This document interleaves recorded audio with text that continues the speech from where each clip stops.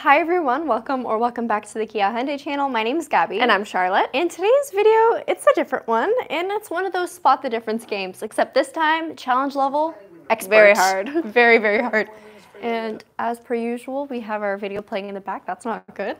Love so, that. Charlotte, we're doing this as a live stream today, right? Absolutely. And do we go live every single weekday at 2 p.m.? yes, we do Eastern Standard Time. And what do we do on those live streams? Live streams, we like to use them as a time to interact with you guys. We mm-hmm. also like to answer your questions and go in one vehicle, two vehicles, or pretty much anything in the Kia or Hyundai lineup. Absolutely. So we are called the Kia Hyundai channel for that a reason. we live stream in-depth car reviews. We do tips, tricks, everything you could think of. We've done a video on it. Good. This is a good. But what if you want to buy one of these cars? Oh, we can do that too. So we're not just a YouTube channel. We actually have three stores. We're at Brantford Kia today, and that's where me and Charlotte are based. That's also where our studio is. But we also have two Hyundai stores. So mm -hmm. Brantford Hyundai and Owen Sound Hyundai. All of these dealerships are located within Ontario which is in Canada. Canada. And uh, we can sell and service all throughout Ontario. So. But wait, do you guys charge dealer markup? We don't. Perfect. Sold. All right, now that that's out of the way, we'll actually get into this walkthrough. It's going to be a little bit different because we are, of course, comparing two vehicles. So we're going to start off with the exteriors of both. I'll also talk about mm -hmm. the powertrain and some of the safety features that come standard. We're also going to spend a little bit of time looking at the differences between the two. Trying to find them. And then Charlotte's going to take a look inside and talk about the comfort, the safety, the tech, and the overall vibe of the cabin. Absolutely. Cars. And the vehicles that we have with us today, we have the 2024 Kia Sorento, and we have the introductory trim, the LX, and then the mm -hmm. EX, which is one step above that. And we want to know which one you guys think would be better for you, or what yeah. changes would you make. We'll also share our perspective at the end, and also at the end we have a dedicated portion to do Q&A to answer your guys' questions in real time. Awesome. Let's so, go. Let's get into it. I'm going to start off. Okay, live ah, chat is good. around. Price points, so 38,975 for the LX that we have over here, and then the EX is just over 42,000 Canadian. So there is quite the price difference, but when I talk about the differences that are between the vehicles themselves, You'll see why. So first things first, let's talk about the base or the LX trim. Absolutely love it. For 2024, there has been a refresh, so we got a brand new headlight and grille design. Everything okay, Shar? Um, our quality isn't looking super great. Oh, that's pretty standard. Yeah. uh, what happened to the camera? Not clear. Is someone? Oh, oh. Bump, bump. Yes. Next day, checking. We're just checking our stream making sure things are okay. Is it or no? Uh, it looks like it's getting a little bit better, at least on mine. All right, let's keep rolling. And uh, if you guys are still watching, thank you. Thanks for your patience. All right, so 2024 had a fresh new look. Um, we do have quite a few new trim options too, but the LX and EX we've had for a while. So first things first, I always like to point out this beautiful LED daytime running light. We had it in the previous model Sorento, but it wasn't in this format. So this is called our new star map styling when it comes to lighting, and you get LED bulbs on just about everywhere on the base model trim. Now there are a couple differences between this headlight and the headlight on the EX, and I'll talk about that once we get to the EX. But let's take a closer look. They're vertically stacked LEDs, like I mentioned, super bright and a very sharp cutoff. Another thing we get already on an entry-level trim is forward parking sensors. So as I inch closer to something, whether it be another vehicle or maybe a wall, my car will warn me inside the vehicle to let me know Gabi, you're getting a bit too close. Another thing that they added for an entry-level trim is a forward radar sensor. So that's gonna be utilized for things like forward collision avoidance, but also, Charlotte, smart cruise control with stop Woo! and go. Something that you don't often hear is available on an entry trim level car, especially not at this price point. When it comes to the grille and the styling, you do get this beautiful kind of, I don't wanna say chrome, but silver differentiation to kind of block out all this black that we have going on. But something that we'll notice here is this is black plastic and it's not body color, it's just almost like an unpainted plasticky finish. So that's gonna be a difference on the EX that we'll look at in a few minutes. We also have, again, that silver style along the bottom of the vehicle, just under your grills. And our skid plates are just pretty regular on this trim. Let's take a look at the wheels. This is a hot topic. I'm not overly excited to talk about the wheels on this model, but they get better, guys, don't worry. So these are 17 inch alloys. Yep. Yep. but what's nice is that even though this is, this is an introductory, you do get an alloy. It could have been a hubcap, which yeah. Yikes. If you look at a Toyota RAV4 entry, obviously a different size class, but there are steel wheels with a cap. I much prefer an alloy, and the best part is if you're not a fan of this wheel design, use them for your winter tires or simply swap them out for something else. Yeah. It's the easiest thing to change. I was gonna in a say, car. what's the easiest thing to change on a car? Absolutely. The wheels. But nonetheless, this car does have some great uh, power and also capability. So we live in Canada. All trim levels of this Sorento come standard with all-wheel drive and terrain mode. So we get snow, mud, and sand with also a sport mode and eco mode, that kind of thing. So you can really customize the drive of this vehicle and make sure it works for you and your driving conditions. So all-wheel drive is a great thing to have. We'll move upwards now and talk about the engine. So I'm not gonna pop the hood on this one because it's a, a manual, we got a hood strut, so it's not hydraulic, and that's a lot of work. But I'll talk about what's under here. It's a 2.5 liter four cylinder gasoline engine with 191 horse and 181 pound feet of torque. You also get a traditional eight speed automatic transmission, so that means you're gonna get very, very smooth shifting on this car. The reason why I'm not overly excited about this powertrain is because the EX blows it out of the water. Mm-hmm. And we'll talk about the EX in just a few minutes. Let's keep talking about this vehicle though and what makes it so special. For styling, I think it looks quite nice. So we again have that silver accent along the body. We get this little, I don't even know what to call that, but it's an accent. And then along our windows, we do have more of that trim. You get roof rails on this trim level. They're just the flush body style ones, and you get the increased or bridge style on our X-line trims. Coming up to the back, we get rear parking sensors along your plastic bumper. So again, it's not body color, but it's still, it hides well, especially if you are getting a black exterior paint. But the parking sensors make a big, big difference. So I talked about the drive, I talked about the transmission. Let's talk about size now. So these vehicles, they're the same size. Not a lot to talk about when it comes to cargo space because you're gonna be working with the same amount until you get into seating. So we'll raise the uh, not hood, but trunk back here. And you'll see we have two seats in the rear. All trim levels of the Sorento are gonna give you three rows of seating. What the big difference is, once you actually take a look at the second row, you're gonna get three seats over there. So it's a seven seater versus every other trim of the Sorento, which is gonna offer you six seats. Now that might be a benefit or a negative for you. If you really need all seven seats, obviously you're gonna go for this one. But let's say you often drive maybe five people. Although your family would still fit in this one, you won't be able to use a lot of cargo space back here because you'll always have one of these rear seats up. Think about airports and luggage. It's not the easiest, but um, I do like how there is still a seven-seater configuration. I just wish it would also translate to the higher level trims as well too. So that's about it for this one here. Let's work our way over to the EX. So the EX, let's start at the back, I guess, because that's where we are. You do get a power liftgate, which is something that is quite special to get in a vehicle that's still lower on the trim level scale. So it is customizable to your height. If you want it a little higher, a little lower, you can grab it, manually adjust it, and then set it with this button right over here. You get those two seats back here, like I mentioned, but of course, if you are seating five passengers, someone has to sit in the third row. It better not be your tallest passenger. Both of these cars also come with a temporary spare tire. So under here, we'll have our kit. And then the actual tire is located underneath the vehicle, so you'll just have to take it out. Charlotte will show it. There's the difference on your bumper. Yep. Oh, I missed it. Oh, guys. There we go. Okay. And I understand I didn't show the entirety of the seating. Oh, that seat's reclined. That's Give me a second. Tragic. Of course, of course. All right, so I'll move the seat up a bit. Here, I'll just. Do you want me to pull this one? Oh, it's okay. Okay. So one of the benefits of the captain's chairs is they're actually very easy to move. So if you do have people going in and out of the third row, captain's chairs just slide out and they're individual, right? Now that we have these two folded down, you'll be able to see what the full cargo capacity looks like. Oh, there's something in there. Never mind. Pretend that seat's completely flat. All right, lots of cargo space. And then back here, there are USB-C chargers. So we'll have Charlotte show that. And sorry, Charlotte, she zoned out. um, so USB-C chargers, cup holders, and some storage pockets. You also get seatbelt clips so you can tuck them in if you don't want them in the way. This is great if you are moving just cargo and not necessarily passengers. So pretty handy. Let's work our way over to the front. I want to talk a little bit about the headlights. So like I mentioned, both of them are going to have LED headlights. Both of them are going to have that really striking amber daytime running light. But if you take a closer look at these guys, you'll see four bulbs vertically stacked. They're very bright.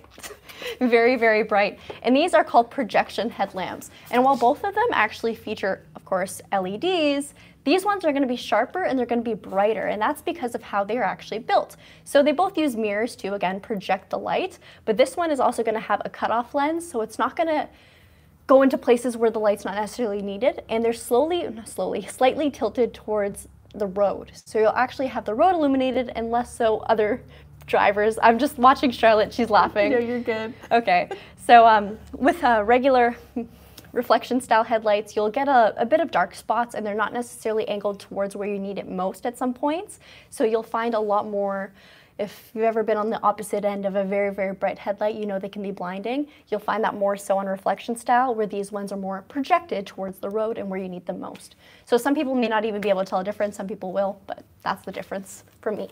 Rumor has it, if you wear your solar eclipse glasses and stare into them, you can see light coming through. Oh, so headlights, small difference visually, but big difference depending on what your driving looks like. Mm -hmm. The engine, another huge difference. If you're someone who needs a little bit more power, you have to get this powertrain. 2.5 liter turbocharged engine gives you 281 horse with 311 pound foot of torque. And the transmission, this is a hot take. Some people love it, some people hate it. It's an eight speed wet type dual clutch transmission. So although it has two clutches, no clutch pedal. You just get your brake and your gas, so it's good old automatic style. No um, gear shift either. Well, there is a gear shift, but no, you know what I mean. All right, so that is something that you should definitely want to research if you are going to purchase this vehicle. It doesn't have a lot of extra care, but there are some things you should be mindful about when it does come to dual clutch transmissions. Have we so, done a video on that? Oh, absolutely. You guys know it. There are front parking sensors, rear parking sensors on this trim, and let's take a look at the wheels because these wheels, whew, they make the car look so much better. So these are 20 inch alloys and you get a mix of that dark and silver finish. And while we're on the topic of silver finish, if you pay attention to the grille on this vehicle, or I guess what's encasing the grille, this is actually a different finish than the LX. I know, you probably can't tell because our video quality is just that good. but you have more of a flat plasticky look on here and that one is going to look more like a metal. So mm -hmm. a bit a bit nicer a bit more premium and that's the whole thing. It's a higher trim level it's going to look more premium. Same thing with your bottom bumper. This is going to be that black plastic that I mentioned and this one is going to be body color. So if you get a blue Sorento this will be blue black Sorento we probably shouldn't have used these colors for today's video to showcase the differences but that's what we had. All right, uh, both these vehicles also feature nine airbags, lane keep assist, lane follow assist, forward collision avoidance assist, lots and lots of tech, lots and lots of features. They're both all-wheel drive with terrain modes like I mentioned. And now Charlotte will talk about the interior of the two. Yeah, you got it. So although it may seem like there wasn't too much to love on the exterior of the LX, which don't worry, there definitely is, uh, I'm super impressed with the interior every single time because there's so many cool features that come standard on this vehicle. And when it comes to the EX, it's going to build off of the foundation that this lays, unless of course it's going to add or replace a feature. So let's take a look inside. And guys, can you guess why there's a plastic bag on the seat? Wait, are you telling me that's not from factory? No, it's not. These are cloth seats, and uh, someone, who we do not know who, left this vehicle with the window down outside last night, and it poured rain. so it's soaking wet. So beauty of cloth seats. The they, beauty of cloth seats. They absorb. Now, I will say, it is powered. So we get to see a powered driver seat standard, which is great. Unfortunately, we do not have that for the passenger seat, just for the driver's seat. But again, that is a great feature to have. Um, I guess I'm getting into the car. Chris wants to know who he wants us to blame, or who we should blame. Uh, Tim, probably. Tim. Yeah, probably Tim. uh, there's also tons of other features that we're going to see, namely software is going to be a huge, huge factor in this vehicle. So I'll show the steering wheel first, and then we'll talk a little bit more about that. We have a, just a regular steering wheel here. It's not leather wrapped, it's not heated, anything like that, but you still do have your media controls, your driving controls like smart cruise control, lane keep assist, lane follow assist, as Gabi mentioned. Behind us, we do have our new software, so digital instrument cluster with a 4.2 inch screen in the center, digital uh, tachometer, digital speedometer, and you're still able to cycle through all of these screens like you would any other vehicle. So this screen is the same on the EX, right? Yes, screen is the same. All right, so no technology differences really nope. between the two. It's more so comfort. Comfort and passenger space. Awesome. I'll have Gabi come around and we'll talk about more in this vehicle. If you guys want to see another hidden difference, Check this out, black plastic. And then this is body color. So yeah, that's quite different. Quite the difference. All right, now let's go back. Keyless entry also for the door. So as long as the key is somewhere on you, you can give this a push and it'll lock or unlock your car. That's what I was just gonna say. It's got keyless entry.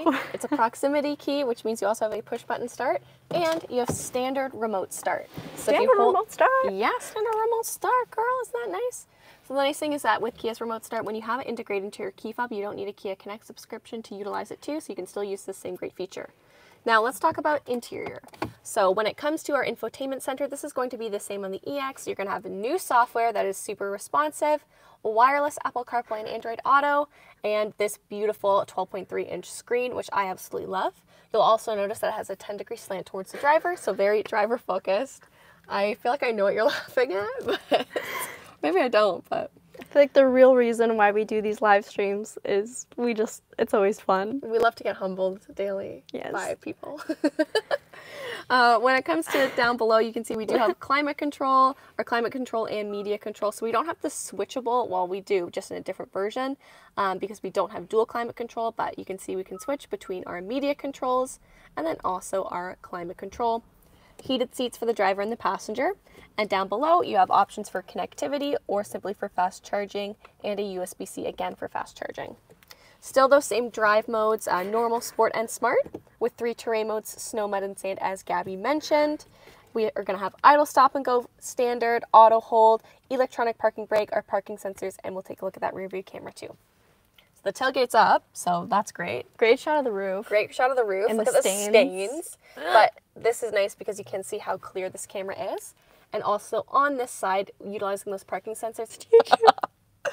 Are we back? I think we're back. Okay. Maybe not though. Does it say connecting? Reconnecting? No. It's just the time is frozen. Girl. That's so us. That's so That's Kia. so Hyundai. Oh, you know, it might still be going. Okay. Guys, if you're still on, let us know. For someone that's tragic. Okay. Parking sensors. Are they on? Yeah. Okay, good. Parking sensors. So if you are driving this vehicle and it is showing uh, that there it's detecting the obstacle, it will be illuminated at the front and on the rear too. Space is all going to be the same. No sunglass holder. Nothing like that. Same space in here. Let's take a look at the back seat though, because of course that's going to be one of our real differences.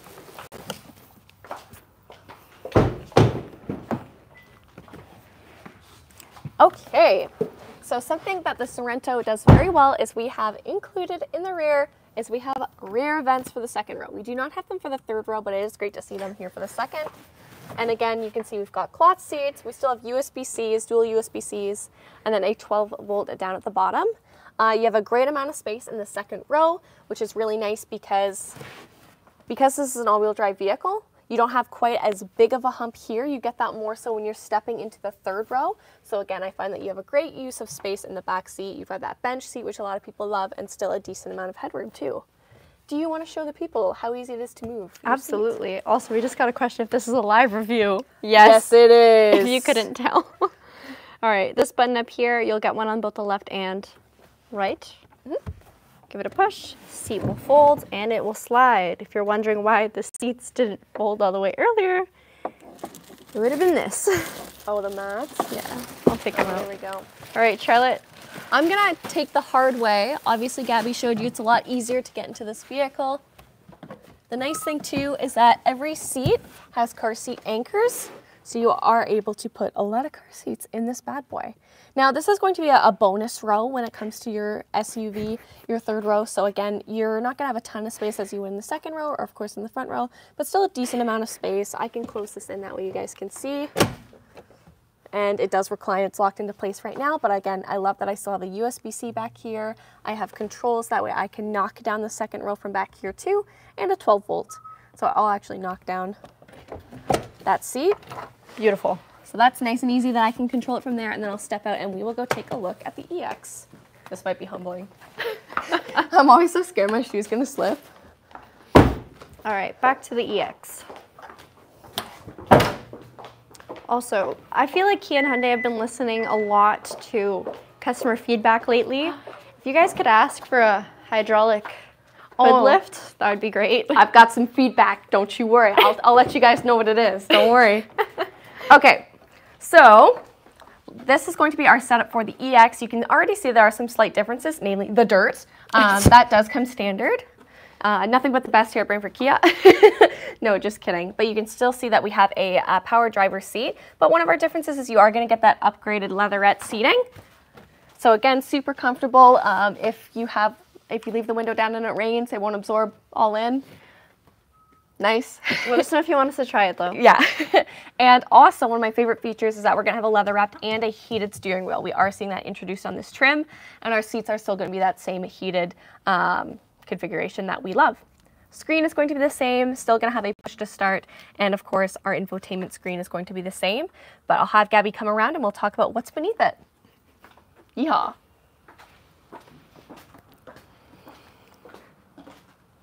All right, I think I have to start turning off the live chat. Some of these comments are too funny. I'm watching your face and it's so distracting. I don't even know what they're saying and I'm terrified. okay. So like I said, we still have our same screen for phone projection, everything along those lines, but here's where your controls are gonna change. So you still have that switchable controller, but things are gonna look different namely because we do have a dual climate control in this vehicle too. So I can set it for how I would like it. Gabi can set it for a temperature that she would like. And then also you can for the, oh, there we go. Turn that off. that was a lot. Turn it back on. I love car tech. Uh, we're the pros at our job. Can you tell I'm distracted today? Because I'm laughing. Uh, same heated seats as I mentioned, and then down below you see we have the inclusion of a wireless phone charger. So you can have a completely wireless experience in this vehicle, which is something I love. You can have that wireless Apple CarPlay, Android Auto, while still charging your phone. Mm -hmm. If you do want connectivity, of course, you still have the same options as in the previous vehicle with connectivity and two USB-Cs. Same drive modes. We've got our heated steering wheel here, still have auto hold and idle stop and go, our parking sensors, and again, that rear view camera. I did move the tailgate down. And yeah, that's really going to be it for our key features. Same space as I mentioned, but let's take a look at the captain's chairs.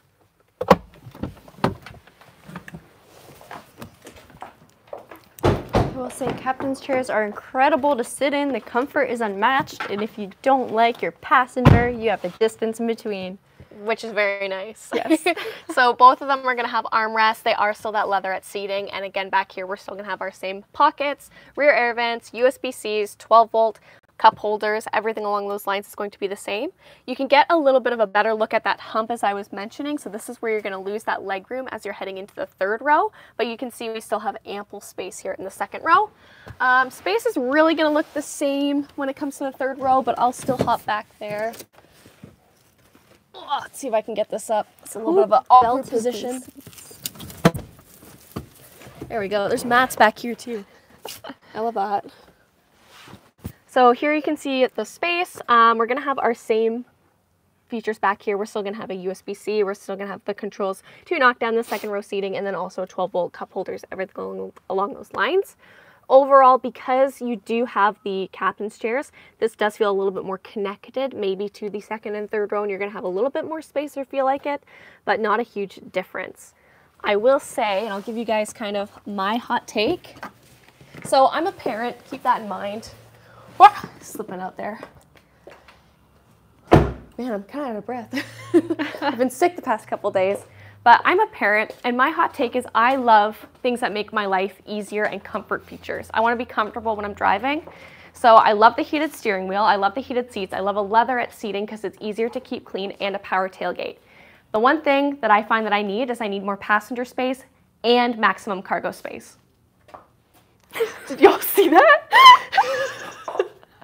oh man, which is why I think that if Kia designed the EX with a bench seat in the middle or a removable bench seat, I think it would be a slam dunk every day of the week. So that is kind of my hot take. I can't believe my shoe just like gave out on me. Oh boy. Well, you know what? We have fun at work. So we that is one thing. the one thing we're gonna do is have a good time. Okay, um, real question. Does it have air vents in the third row? Any of the trims? It does not for no. the Sorento. The previous body, you could um, control the air vent flow and obviously turn them on or off, but there is none in this model. Oh boy. Man, what a day. Mark, you are right. Yes. Absolutely. Yes. It has been a day. It's been. Can you tell we're a little off today? It's been a year, actually. All right. Um, scroll back to the top and answer all my relevant questions. Zoran commented that, so I'm gonna assume that there's not anything relevant there. I love that. But we need a good camera. Yep. Gabi's kneecap check. Yep. I work at Tim Hortons. Yep. Uh, Steve said, got to play with the top of the line EV9 yesterday. Very fun. I love the styling inside and out. Mm -hmm. And he also loves the Sorento PHEV SX. Sweet. So what do you guys think about these vehicles? So obviously the biggest difference is going to be the powertrain and then also the seating configuration, everything like that. Um, you're going to add a little bit more comfort features when it comes to the EX, but mm -hmm. those are going to be the, the big ones. The big differences. So what would you pick? I'm curious. Because it is a price jump, but it may not necessarily be as much as you may think. And I think it would be completely worth it for the EX. Like I said, I'd love to see it in a seven-seater configuration. Um, EV9 video turned out great. Thank you, thank you. Can you do a review of the Kia EV5? Absolutely, but once it arrives... We gotta get one. Gotta get one first. Yeah, that's the big thing. Um, comment on the 14 cent gas increase price increase on gas tonight, ladies. Are these gas guzzling SUVs a smart choice to push? So I will say, obviously, neither of these are hybrid, but this Sorento does come in a hybrid option if you're looking for it. They're not overly bad on gas, I'll say. Obviously, it's going to be worse than something like a compact car or a Forte. But um, I will say, my mom, she has a Sorento PHEV. It's been at CarStar for two months because we love someone smacked her car up real good and uh, she's driving a Ford Edge V6 engine, and she wants to cry because almost every other day she's getting gas. Yeah. And that thing just burns fuel. So when we're looking at vehicles in that sense, these are phenomenal on fuel. So they're four cylinders, they're not overly thirsty. The turbo actually does a little bit better on the highway than the naturally aspirated one, which is, you know, something you don't hear every day because yeah. you get so much more power in that one. Yeah. Um, but yeah, if you drive them smart, you're not flooring it at every green light, mm -hmm. then you can expect fairly decent fuel efficiency. The color on these vehicles, I saw MG's question, is both the same. It's ebony black. Um, there was another question I saw too. And Zoran, also, we are filling up any cars that need gas tonight at the dealership today. Yes. oh, man. Um, Zoran with the relevant questions. Yeah, good job, Zoran. Why can't you ask the Bell or Rogers people to build a direct fiber line to your dealership for a better connection? So fiber optic isn't actually available where we are. Yeah. So we are still on the ruraler side of things, I'll say. Yeah, like, the metropolis of Brantford. Yeah, there's a farm just down the street, so it's not something we can get right now. Um, it's okay, Gabi, I have a spare hairbrush. Guys, it's raining. I was outside, you know. It's been We were in the elements. Day. The elements. Uh, yeah, it's uh, all terrain. A little crazy today. Uh, for the price, MSRP at the E or the LX is 38,975 versus 42,975. Yep. So $4,000 increase, which I get. Like that that's a lot and isn't going to be for everyone's budget. I do think it is worth it. Absolutely. Um, with that being said, do you think we should end off today's live video? Probably. It's been a crazy one, but if you guys have been here throughout the entirety of the live stream, congratulations. You, congratulations. You're entitled to some sort of compensation. Yes. Mm, not from us though. not yeah, not from us. Um, let us know if there's anything else you would like to see regarding the Sorentos. We have a few on our lot right now.